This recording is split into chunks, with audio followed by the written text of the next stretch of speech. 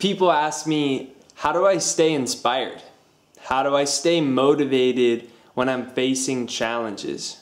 That that's my problem is that I can't continuously find the motivation, the inspiration to keep going. And it's simple. Know why you're doing what you're doing with your life. If you don't know why you're doing what you're doing, how can you get inspired? Inspired, in spirit, in alignment with what you're doing. How can you be in alignment with what you're doing if you don't know why you're doing what you're doing? How can you be motivated? Our decisions, our current decisions equal our destiny, but we can't make a, an empowering destiny, an empowering step towards our dreams if we don't have a motive behind what we're doing in our life. So, why are you doing what you're doing? When you know why you're doing what you're doing, when you hit the hurdles, you can get back up. Motives are your fuel, they're the fuel that's going to get your vehicle where you need it to go.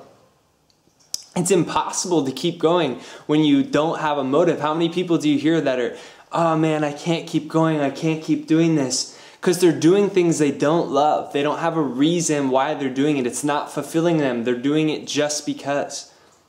So ask yourself why. Write down why. Write down five reasons, 10 reasons why. I have hundreds of reasons of why I'm doing what I'm doing. I even keep letters from people with me to remind myself why I'm doing what I'm doing. And when I hit a hurdle, I review it. I look at it again. So you stay inspired by knowing why.